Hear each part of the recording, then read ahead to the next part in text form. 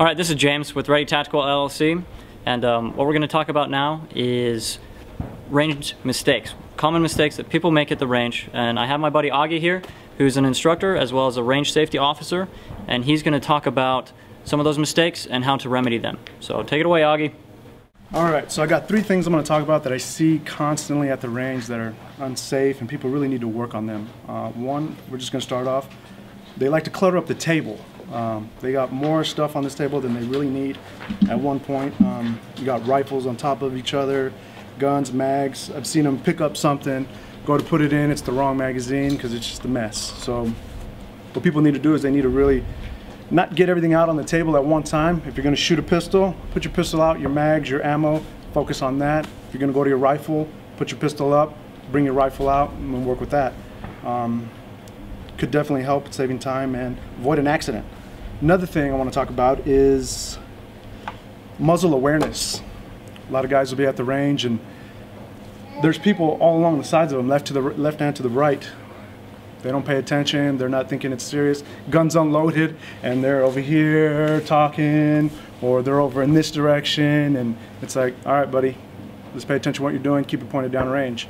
Um, third thing is trigger control. You know, keep your finger off the trigger. A lot of people will pull their gun, trigger on the finger on the trigger, looking around, talking, looking around, talking, pointing at people, and then they'll get ready to shoot, finger off the trigger, point the gun, and then finger back on the trigger. It's like, let's just keep your finger off the trigger until you're ready to shoot. Those are the three things I want to talk about. Hopefully people will pay attention to them to avoid an accident. All right, so that was a great video with Augie explaining some of the common mistakes made at the range. Um, so Augie, what percentage of the shooters that come out would you say need to get extra training? There's quite a bit of people that are coming out that need training, um, especially now. There's a lot of new shooters out there uh, buying firearms. They were never interested before, but now they are for whatever reason that might be. But you know, they come out, they really don't know what they're doing. Um, luckily, some of them do ask, but not a lot of them do.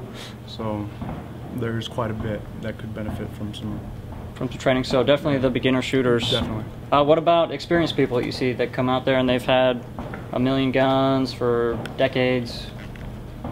Even them, even them, they can they can use some training. You know, they got to refresh. Uh, what happens is they get a little complacent. A lot of guys are used to doing their old routine, and then they get a little cocky, and next thing you know, something bad could happen, or you know, hopefully not. But okay, complacent is what happens, even with a lot of knowledge training is key. So everybody needs some training. So anyway, if you like this video, learn about common mistakes, how to fix them, you know, press subscribe, give us a thumbs up, leave us a comment, and we'll see you in class.